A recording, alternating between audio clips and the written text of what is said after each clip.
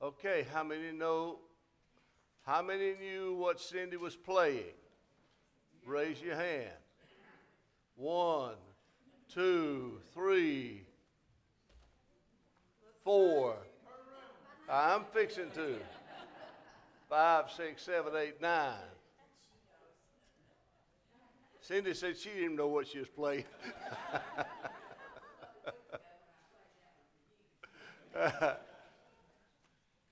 okay, what was the name of it? Wonder of it all. Just to think that God loves me. And uh, that's, that's worth praising God for. He loves us. And I'm glad you're here. And you ought to be glad you're here because a whole heap of people ain't here because they can't be here because they've been sick. And some of them are back who've been sick. I hope y'all are cured, well, didn't bring it with you. Okay, Jack? All right. Some of the others of you uh, have been down, and we're glad you're here. Glad Ben is back. He's had a little surgery, and we're certainly glad that all of you are here, and we're here to worship the Lord. I would remind you that uh, a good ting- contingent of our people, our young people, are off on their winter retreat along with their leaders. And we want to pray especially for them today that we'll be returning uh, tomorrow. And so we want to pray that God would just give them traveling mercies as, as, they, as they travel. We do lift up your name, Father, because it's a name that is above all other names. Thank you. Immanuel, God with us. The great I am, as you said to Moses, is the one who will always be there and grant you all that you'll ever need. On and on the names go. Telling us of your wondrous character is a song that Cindy played, The Wonder of It All, that you love us. My.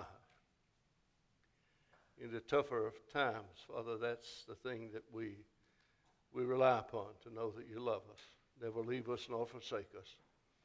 I do want to pray for our young people. I pray they'll have a good day of worship and study today, and they'll be returning to us on tomorrow, and I pray you'd give them traveling mercies. I thank you for those who have been absent due to illness, that they've been able to return, and we do thank you for that. And I know there, there are quite a number of our people, Father, who are not with us today due to uh, these many types of illnesses that are around, and so we pray your blessings upon them. And uh, we pray you bless this service. Help us lift up Jesus and bless Greg and Cindy and the choir as they do, uh, as they do uh, lead us in uh, worship. And I pray if there's anybody here today who doesn't know Jesus, I pray that uh, today the Holy Spirit of God would draw them to saving relationship with Him, in whose name I pray. Amen.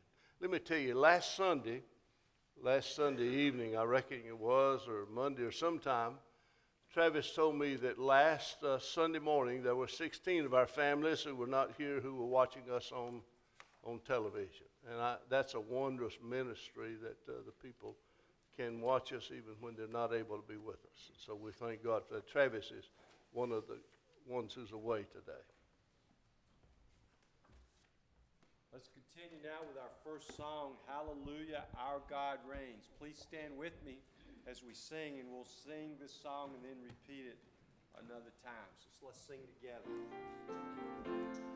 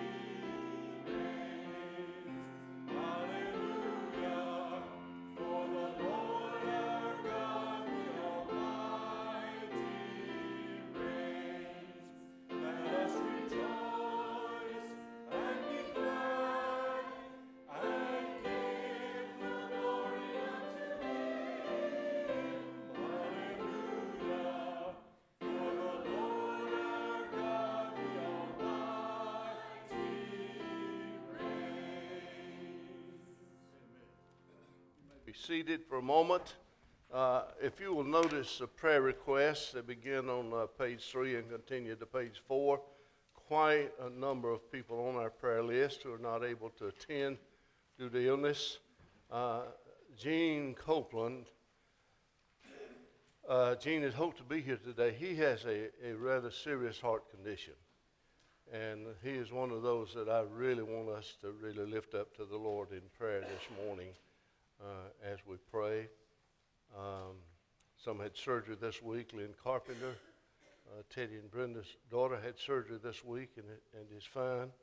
Uh, Jack says that his uh, brother-in-law in Oklahoma City uh, is making progress. Um, uh, let me let me see here. Carolyn Nancy's brother had open heart surgery this week, and uh, so there are quite a few others on there, and I can't call all the names. Legislature is back in session, and uh, we certainly want to remember them in prayer. Uh, Bruce and all the others, and uh, our youth, as I mentioned earlier, are on their winter retreat, and we'll be returning. Um, we'll be returning uh, tomorrow. I, I want to share a word with you.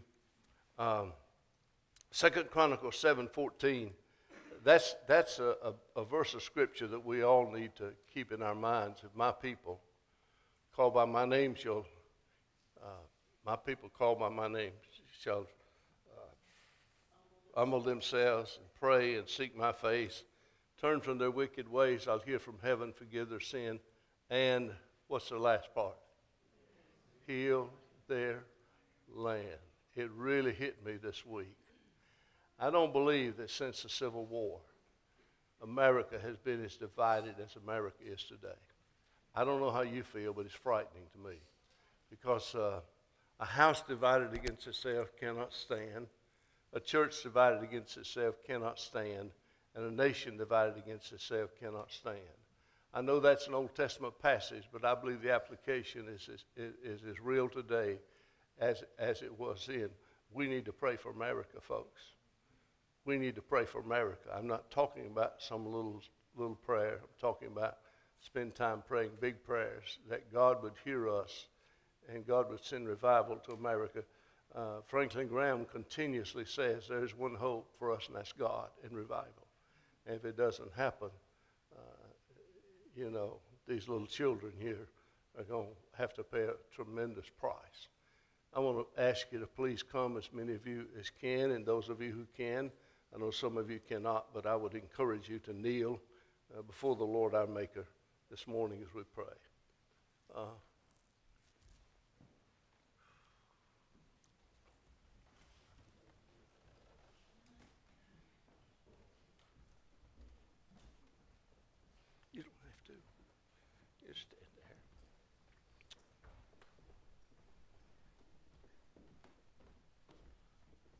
Heavenly Father, one of the truly great privileges that we as humans have is the privilege to pray. There are so many, so many, so many uh, scriptures that assure us of your hearing us. Um, as we come this morning, sometimes I feel my heart is very heavy and I, I can't seem to put my words together. But even in that, in that time, Paul said that uh, the Holy Spirit of God that lives in us looks into our hearts and knows how we feel, what we want to say. And even though we can't quite put the words together, Holy Spirit of God just says to the Father, This is what your child is trying to say. I thank you for that. Because Lord, I, I feel I feel almost helpless now. I don't know what how to how to say it, but we're we're in deep trouble, Father, in this country. But I'm in deep trouble. I, I don't need to tell you that. You know that. But I want you to know that we know that we're in deep trouble as a nation. Divided as we've never probably been divided since the days of the Civil War. There seems to be such uh, animosity. There seems to be such bitterness. But there seems to be such, uh, such hatred in this country today, unlike anything that I've ever witnessed. And Father, we can't heal it. The government can't heal it. They can pass bills and laws and all of this stuff, but that's not going to heal it. It's only as we as we meet those conditions of Second Chronicles 14 are we going to see a movement of God in our country And God, it doesn't begin with a mass of people. It begins with it begins with us individually, with me, Father. On that scale of one to ten that I often talk about, I'm not at ten when I ought to be at a twenty at my age. Father, forgive me. I commit my whole body, soul, and spirit to you this morning, and I commit this church to you, and I pray that we will become a, a people of God who are very concerned about the needs of, of others and the needs of this nation in general, particularly for our president and, and, and the Senate this week. Father, I pray for special blessings upon them. I pray for our youth. We thank you for them, for Michael and those who are with them, and I pray you'd give them a safe trip home. Thank you for the fact that you have granted healing to some. And Lord, I want to pray especially for Gene.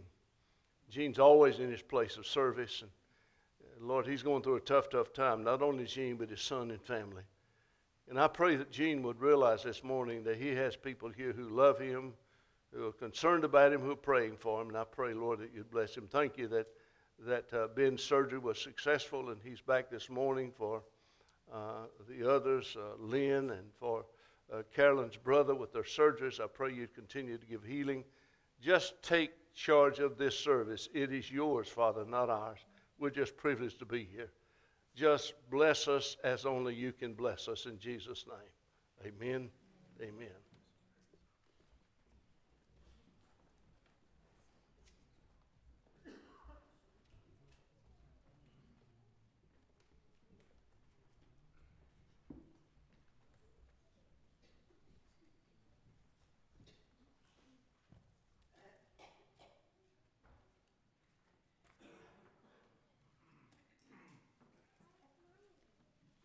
next song before our responsive reading is Glorify Thy Name.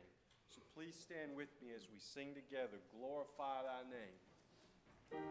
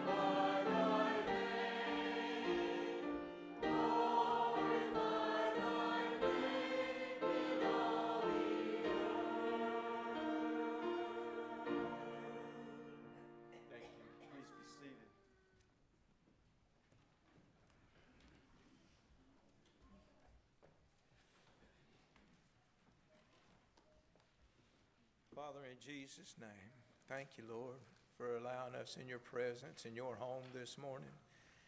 Father, we ask that you open the hearts and the minds to hear the word, and we give you all the glory. Amen. In the beginning, God created the heavens and the earth.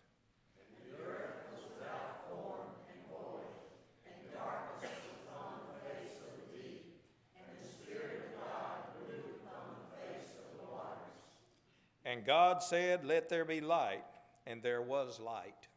And God saw the light, and it was good. And God divided light from darkness. And God called the light day, and the darkness he called night. And the evening and the morning were the first day.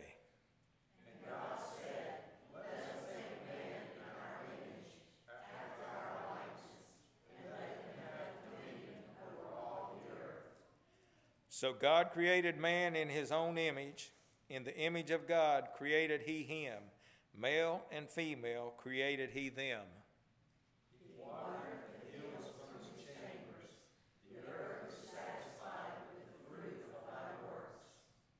He causeth the grass to grow for the cattle, and the herb for the service of man, that he may bring forth food out of the earth. O Lord, how manifold are thy works in wisdom, and thou made them all. The earth is full of all thy riches.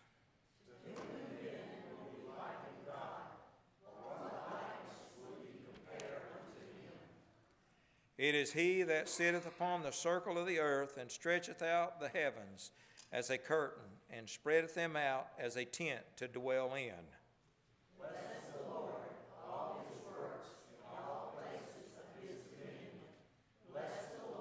O my soul.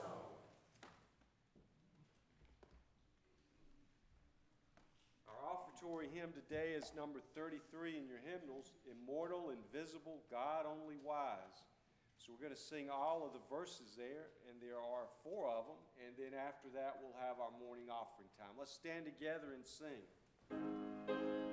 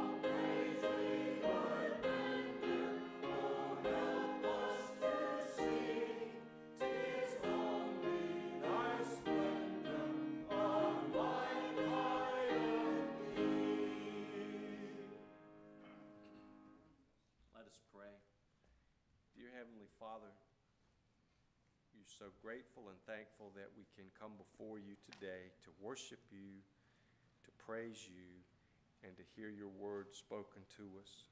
We thank you for all the blessings that you've given us. We thank you that you are immortal, invisible, and God only wise. We thank you for the offerings that are presented today, Lord, and we pray that they will be used for your kingdom wherever that might be and however it may be needed. We ask your blessings upon this service, what we've already experienced this morning, and the, the time that is to come in this hour. And we pray all of this in your name. Amen.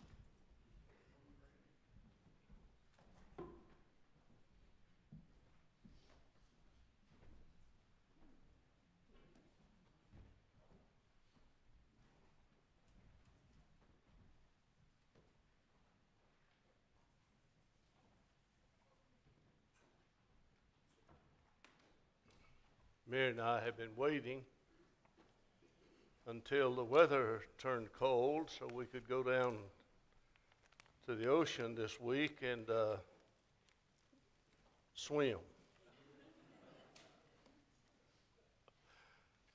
Uh, she and I are going to be leaving this afternoon. I have a I have a meeting I have to attend down there. Not the best time of year, but we will be gone a couple of days. But we're still as close as your still as close as your uh, telephone.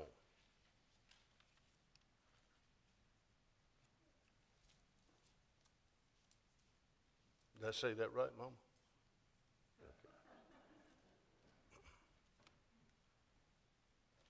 Be the first time we've been away from Coco. Those of you who are dog lovers will, will appreciate that. Well, let me pick up for just a second this morning on what I said before prayer time. Folks, we're in a crisis as a nation. If you don't understand that, then you've got your head in the sand. America's never been quite like this in modern times. And we need to pray, folks. God didn't promise that the government would change some laws, he would hear. God said if his people would cry out to him, he would hear. We need to pray. I mean, pray, pray, pray, pray, pray. Uh, I feel for these little children. Look at this, look this little one right here. Uh, come here. I've held enough of them in my lifetime. I can. Hey there, how we doing? Say, mm-hmm. everything okay? Now you'd be better off looking at me than looking at these people.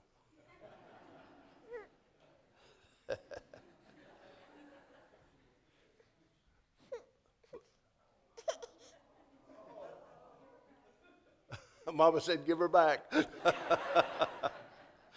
but in all seriousness, in all seriousness, you know, this is, in all seriousness, this, this is what we ought to be concerned about. Us old folks are going to survive. We're going to get through it. We'll make it some way till the Lord calls us home to heaven. But these children have got a lot of years left on this earth. And if, I, if the Bible's true, and I believe it is from kiver to kiver, friend, it ain't going to get better. And we need to be praying like we never prayed. I was talking to, uh, to Bruce back here earlier about some of the things that are happening in our own state in our nation. So, folks, I'm just begging you, pray. Have a time every day that you pray, pray, pray, pray, pray. Now, this is a sanctity, sanctity of human life Sunday. Uh, that's an issue close, very, very close to my heart. And uh, I could uh, spend a lot of time this morning talking about that issue. I, I have been there. Uh, I have worked on some pro life issues with the legislature. Uh, I've been to the abortion clinics. I know what happens. And uh, it's an issue, too, that we need to be deeply concerned about. Millions and millions of children have been murdered since the adoption of Roe versus Wade. There have been two major court decisions, two major court decisions made in our lifetime that has greatly affected America, has changed America. And uh, the decision was made that uh, our schools no longer needed God. And so we opened the door and we pushed God out. Now, follow me carefully. We opened the doors and we pushed God out. And then we opened another door and we welcomed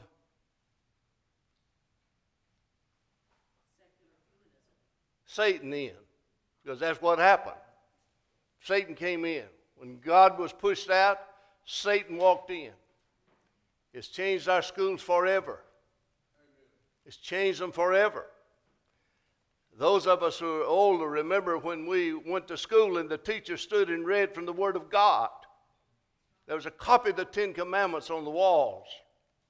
We stood and we said, I pledge allegiance to the flag of the United States of America, to the republic which it stands, one nation under God, indivisible with liberty and justice for all. That was a part of our everyday curriculum in school.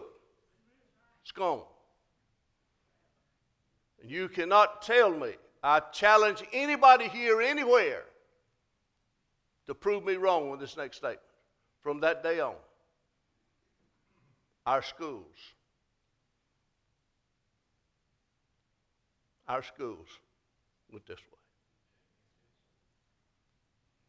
Can you imagine having to pay from your tax dollars armed police officers in the schools? About the worst thing we could get in trouble was chewing chewing gum or shooting spitballs. and now look what we're dealing with. It's changed. I don't think we can ever turn it around unless God chooses to. So so that's an issue that, uh, that changed forever America. But there is another decision uh, by the Supreme Court that forever changed America, and that's the Roe versus Wade decision that legalized abortion and said it's okay. It's okay for that child, human being in the mother's womb, it's okay to murder that child. You can call it what you want to call it, it's murder. Call it what you want to call it, it's murder.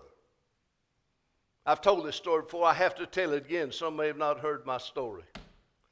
Our daughter in law, our son David's wife, was expecting with their first child, our first grandchild.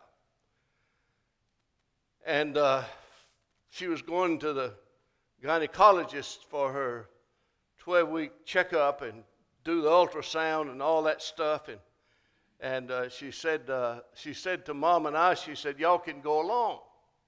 That's fine. We met at the doctor's office with her, with her husband David, our son, her sister. She only has one sister. And waiting there in the room, and they, they called Sherry back. And uh, a few minutes later, they came out and said, Well, y'all can come. And I said, No, it's too crowded back there. So Mary went on, and, and uh, David and her sister.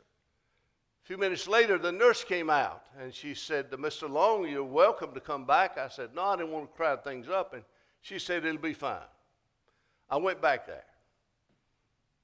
Amazing experience. Some of how many of you have ever seen an ultrasound done? Some of you have. You know what it you know what it is.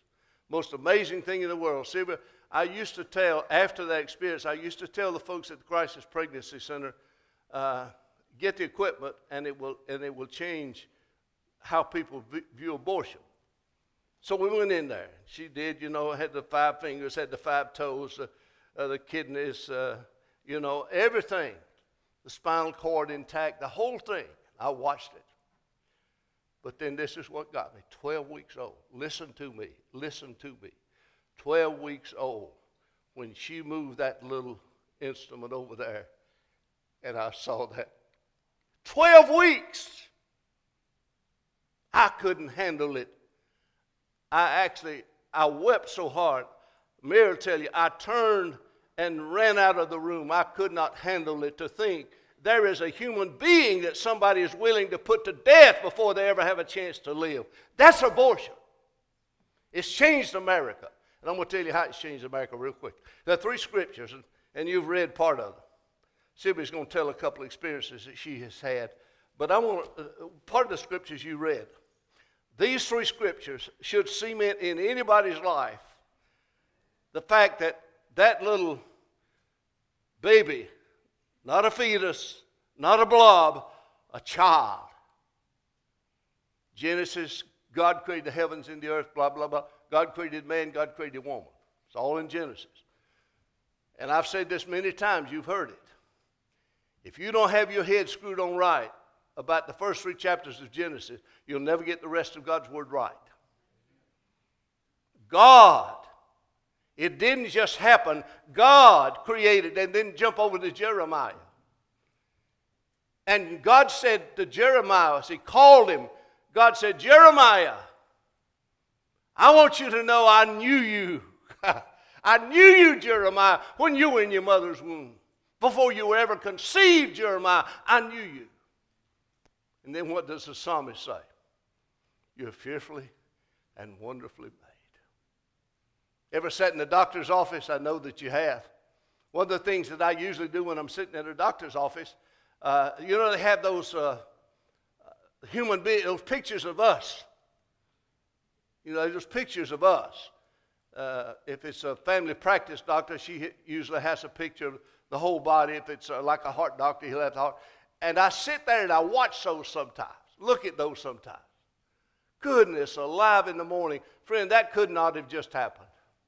All those intricate organs of the body that are made to function in such a way that each organ is dependent upon some other organ. Fearfully and wonderfully made. Who did it all? God did it. God did it. Weren't an accident. You're here this morning because God created you. Amen? Amen. God created everything, Genesis says. God said to Jeremiah, Jeremiah, I knew you. I want to tell you something. I could, I could spend all morning on that this morning. Let me tell you if, something, if that doesn't stir your soul, that God knows you. Friend, let me tell you something. God knows you. The psalmist said, You can't go anywhere that God ain't there. You can't go anywhere God doesn't know about it. God knows. And then what's the Bible says? The very hairs of now, now God ain't got a lot of trouble. Now some of you guys, God ain't got a lot of trouble with that. God says, I know the hairs of your head. He, he'll know a lot about that. Every time I comb my hair in the mornings, I realize I'm getting more like Bobby. know. God knows the hairs of our head. They're numbered. God knows us. Let me, let me just tell you this. I believe this, and I challenge anybody. I believe since inception of Roe versus Wade, not only the sanctity of that baby in the mother's womb, but I believe all of human life has suffered greatly because there is no respect for human life. Absolutely no respect. People don't respect. Listen, you should respect human life because God created human life. Amen? You, you, sh- you, should, you should respect human life because, because every human is very special to God. You're special. Did you know that? What did Cindy play? Loved. You're special. You're loved of God. Sometimes when I get down in the valley, I have to remind myself, well, well God knows it. God knows me. God knows my goings out, my comings in. God knows everything about me. So, and, and, and then you're responsible. Listen to this very carefully, very carefully. You and I are responsible for how we treat other people because everybody's created in the image of God. We're responsible. I'm responsible for how I treat you. I'm responsible for how I treat this little lady over here. I'm, I am totally responsible to God for how I create for how I treat you, how I treat her, how I treat everybody else. I'm responsible. And the fact is, one day I'm going to give an account to God for how I do it and what, how, what I do. You know. But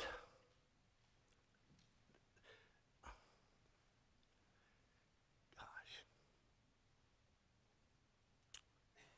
Bruce back here and I was talking about this earlier today. He understands it better than I understand it, he's seen more of it than I've seen.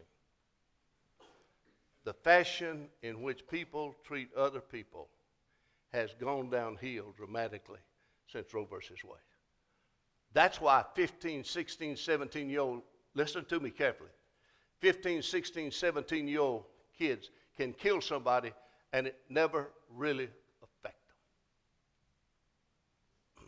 During my course of 20 plus years, I cannot tell you, I wish I'd kept a record of how many young people I've had appear before me who had been guilty of taking somebody else's life. In all of those 20 plus years, I only saw one person, one person out of all of them who had taken the life of somebody else who showed any sense of remorse. And the crimes, the murders, they're getting more violent. In our own county, right close to here, just last week, man took his wife's life, took his life. Over in Lake Wylie, they shouldn't have put that story on television. I'm telling you. I'm hiring me a cupbearer. I told Bruce, Bruce Bryant this. Y'all know what a cupbearer is? What's a cupbearer? Yeah, he's a taster. Donald Trump about to hire him two or three. So I'm gonna hire me a cupbearer so anything she gives me to drink or eat that's going through the cupbearer before it gets to me. that lady took her husband's life. But let me tell you one, one most brutal that I have, I have seen. It just happened. It shows you the fact that humans don't respect other humans. You probably saw it on the news, so it's no kind of secret. For the lady, for, for the gentleman in Rock Hill, murdered his wife. Did y'all, did y'all, how many of y'all saw that story? Well, you only saw part of the story. I work about one Saturday a month. Yesterday happened to be my day. And I'm trying to illustrate to you how irresponsible humans are to one another.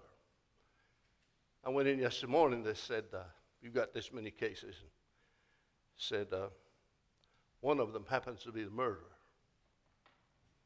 of the lady. Okay. Long story short, I could take a lot of time to tell you. This man who had been married to this woman for 18 years. She's laying on the couch sleeping Friday morning. I can't tell you all the details, I don't have time. He walks in with her asleep, and it takes a high powered gun and he blows her brains out.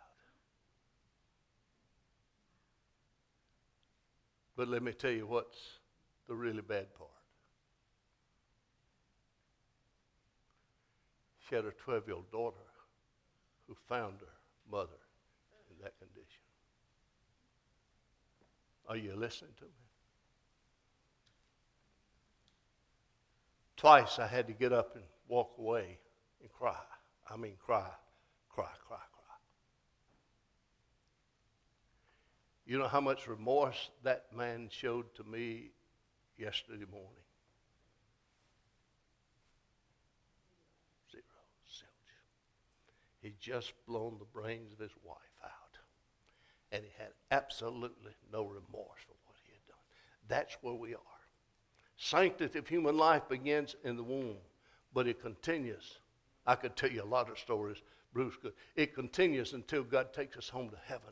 Be careful, be careful how you treat other human beings because everybody is created in the image of Almighty God. Uh, Sylvia's going to take a few minutes to tell us a couple of stories, true stories of what happened in the Crisis Pregnancy Center when lives were saved because they saw the truth, or God revealed the truth to them.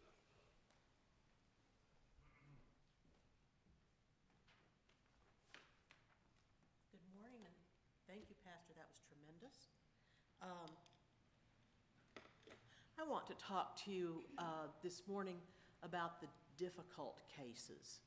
Um, women who've gotten pregnant as a result of uh, rape or incest. And those people who are for abortion will always bring these up and say to us who value every single life and who uh, believe uh, what Deuteronomy 24:16 has to say that the fathers shall not be put to death for the children, neither shall the children be put to death for the fathers. Every man shall be put to death for his own sin. And then in Ezekiel um, chapter 18, verse uh, 20, it says, The soul that sinneth, it shall die. The son shall not bear the iniquity of the father, neither the father bear the iniquity of the son. And uh, that's kind of the solution that they've come up with uh, for that situation. And for those of us who, who believe what the Bible says, uh, you know, they were criticized, you're so uncompassionate, you're so heartless and harsh. And, uh, and I understand uh, because once upon a time I felt that uh, even though I myself might not choose that solution, that make that choice, uh, how could I say to someone else that uh, you can't, uh, you know, you have to go ahead and bear this, bear this child, even though that child would always remind that woman of that terrible thing that had happened to her. And I believe that until I went to work at the Crisis Pregnancy Center 20 years ago. As now it's the, it changed its name to Palmetto Women's Center, or Palmetto Pregnancy Center, and now it's the Palmetto Women's Center. Uh, same organization. Uh, we offer free pregnancy tests and free ultrasounds. Uh, we share the Lord with each person um, to the extent at which they uh, give us permission to. Um, so, uh, uh, how do we respond? And many otherwise pro-life people will make exceptions for rape and incest. Uh, but um, uh, I found out once I went to work there through things that I had read and then the things that I saw with my own two eyeballs and heard with my own two ears, uh, uh, I found that uh, what you think might happen does not in fact happen. What actually uh, happens is really amazing. Um, I've had seven clients personally who had been in that situation. Uh, and uh, what I discovered after about the first three clients was that they reported that they had exceptionally close relationships with those children. These are women who had carried their children to term out of conscience. Uh, like one woman told me, she said, You never think about it. The child is their own person. Um, the, uh, and then I would compare notes with uh, other staff members who had been there much longer than I had, and volunteers who'd been there for a long time, and uh, they said, Yeah, we agree. That um, our clients tell us that carrying the child to term is like a victory over that terrible thing that had happened to her. So if you believe that there is a God who created everything and everyone, if there's a baby there, God put that baby there for a reason.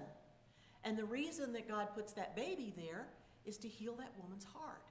And God just doesn't give her a baby to heal her heart, He gives her just the right baby to heal her heart. And it's, it's just, God is awesome. Um, the, uh, let's see. Um, okay. Um, and just kind of extending this principle out, I also had any number of clients. We, we see lots of clients who are in very difficult circumstances. There are a lot of difficult circumstances out there. And, uh, you know, their, their pregnancy would occur at a time that was very difficult. Uh, and just as an example, um, the, uh, after I had gone through volunteer training 20 years ago, and then I began sitting in on pregnancy test appointments to observe before I ever sat down and did one solo. And the very first client that I observed um, had been a longtime client of ours. She'd come to us for all of her pregnancy tests, the positive ones as well as the negative ones. And uh, grown up in church, father was a deacon. When she had gotten pregnant as a teenager, her parents had helped her uh, with that pregnancy and with that child. But then when she got pregnant the second time, her parents told her, This is going to be too much for you, and you need to go have an abortion. And what she did was to sign up for subsidized housing, and when uh, her turn came, she moved out of her parents' house in order to save that baby's life. Uh, in time, she had some other children, and all along, you know, she's coming in for the pregnancy test, and we're talking to her about doing things God's way. Wait until you get married, the value of marriage. And so many times with the clients, we're thinking, uh, nothing's getting through. But now this time she came to see us and she was married. The father of her younger children uh, had, uh, had married her, and she reported to us he was a good man. He was a good provider. He was a good husband. He was a wonderful father. He had adopted her other children. And then she said a, an amazing thing. She says, I would never say this to anyone else, but that second child, the one that she was being encouraged not to have, she says, that's my pick. She says, I know you're not supposed to have picks. I would never tell anybody. You're confidential, I can tell you. That's my pick. That's the child that she has the closest relationship to. Even though, you know, you love all of them the same. Um, and I heard variations of this story over and over and over again for 20 years. That that child that came at a difficult time in life was special. Uh, so, uh, anyway, um, on the other hand, uh, and by the way, I want to say a, a word about that father. Um, at the pregnancy center, of course, we hear about a lot of deadbeat fathers, the ones that do not want to have anything to do with the baby, don't want anything to do, do with the baby's mother, mother. But we also hear about hero fathers. This was a hero father. Uh, fathers who step up to the plate Amen. even when it's not their baby. Mm. Hero fathers. Okay. Um, so, uh, um, on the other hand, we do a lot of abortion recovery, and through the years, we've had any number of clients uh, come to abortion recovery who had gotten pregnant as the result of a rape and uh, uh, then had an abortion. And uh, they all tell us the abortion did not make things better. It made things much, much worse. Because now they just, they didn't just have the rape to get over, they had the abortion to get over. And I'm not saying rape's easy to get over. There are three very difficult things that we deal with on a regular basis. Uh, I am appalled how many of our clients report to us they've been raped or sexually abused, and then abortion. All three of those are very damaging. But we find the most damaging of all is abortion, just the damage that it does uh, to the person's life. So, um, uh, the, what the women go through is uh, used to be recognized by psychological professionals as a form of uh, PTSD, post-traumatic stress disorder. And uh, they actually called it post-abortion uh, stress disorder. And it was uh, a genuine diagnosis listed in the list of psychological diagnoses. But in recent years, they have been pressured to drop that from the list of diagnoses because it's not politically correct. Now, just saying that it's okay uh, and that you know it's not a problem does not make the suffering go away. Uh, these women and, and, the men also suffer. Um, so, uh, like one woman told me who had been in that position, uh, she had gotten pregnant as the result of rape, and when she confided in her friends and even family members, uh, they, oh, you know, you need an abortion. You, you, you have to go have an abortion. And because otherwise pro-life people do make that exception, she says, oh, I, I guess I do. And she says, I didn't know. I had no idea. She said, I went to that abortion clinic alive and I came out dead. And then all the things that she tried to cover over the pain. She tried alcohol, she tried drugs, she tried promiscuity. She locked herself in her uh, home for weeks at a time. And then, you know, she began to get her life in, uh, together again because that was that uh, those others weren't working. Uh, she went back to church. She got saved, reconciled with her husband, and then went to professional counseling. And uh, um, certainly, being saved helped a lot. Uh, the professional counseling helped some. Uh, she said she had a, a laundry list of diagnoses and one or more medications for each diagnosis. And she said that, you know, it helped to cover over the pain, but the pain didn't go away. And then finally, she heard about abortion recovery, and she came to us for abortion recovery, and she would say, "Now I'm healed. Now I'm free." Amen. And I've had heard variations of that story over and over again in uh, 20 years. Um, the power of God's word to heal hearts. Um, God's word is so powerful. Um, it says in Psalm 103, 20, 10, not 103, 107, 20, that he sent his word to heal them.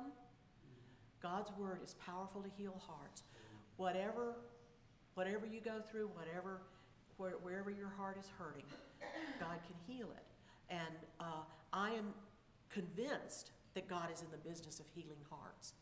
Because, uh, uh, you know, we do the abortion recovery Bible study, uh, we do sexual healing Bible study, and we see that transformation take place. God does the work through His Word, and we just get to be there. Uh, it's awesome. Um, so, uh, the, uh, I want to conclude with a story about one of the seven clients. And this particular young woman actually was the child who was conceived as the result of rape. And I first met her when she and her fiance came in to get a layette for their uh, baby that they were expecting uh, in the next month.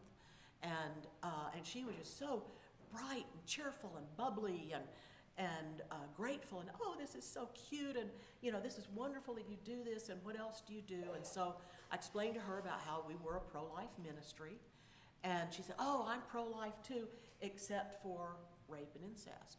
And so that was my open door to tell her uh, basically what i've just told you and her eyes got as big as saucers uh, and she then confided in me that she says i was conceived as the result of a rape and uh, she didn't say when or how she found out about that, but it's not difficult to imagine that on some level, she felt that she represented something very negative to her mother because of the way that she'd been conceived. And it was uh, awesome to her to find out that, no, God meant you. God meant you to heal your mother's heart. And about two years later, I was in a back office and I heard her voice uh, at the window to the receptionist desk, and she was explaining to the receptionist that uh, she was going to York Tech and she was taking a speech class, and the assignment was to give a speech to convince, and she wanted to do a speech on abortion. Did we have any materials on abortion? And I'm thinking, how big a box, young lady, can you carry? Uh, and then she said, and the end, I'm going to end my speech with saying, I was conceived as the result of rape. And I knew she's going to tell her class what I told her two years ago. And I'm thinking, you go, girl, get the word out. Um, so, uh, God says in uh, Ephesians 4:15a that we are to speak the truth in love, and uh, so now you have the godly, compassionate truth regarding this very difficult uh, issue. Thank you. Thank you very much, Sylvia. Would you bow your heads with me in a moment?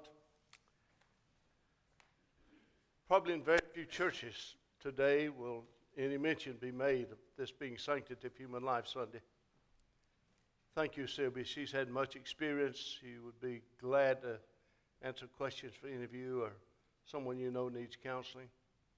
Friend, I want to tell you something. We love everybody here at Union.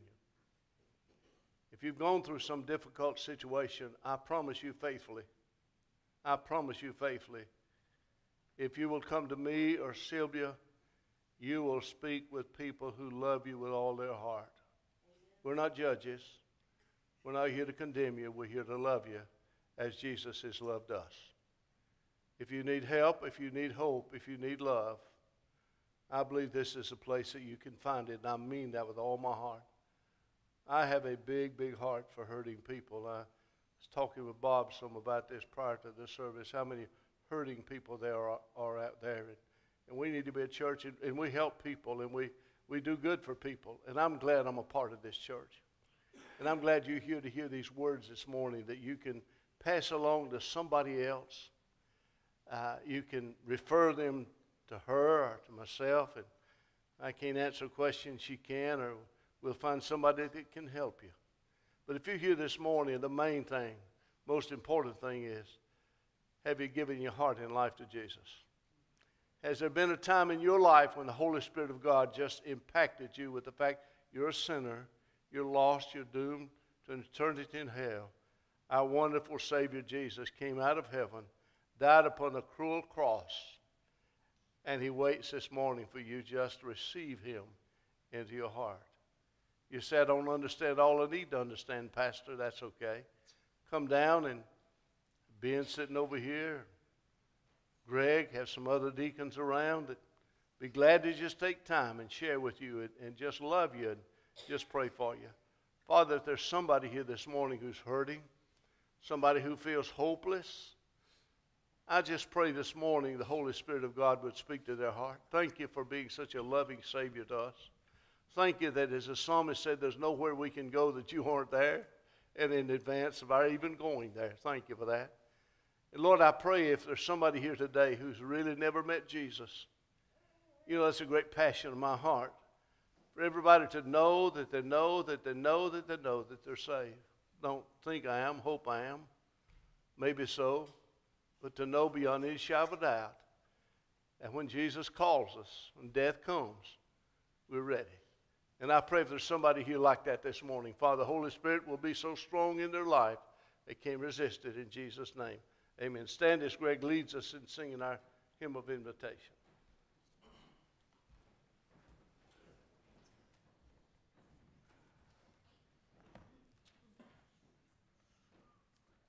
Song is number 630 in your hymn books. So let's sing together, What a Friend We Have in Jesus.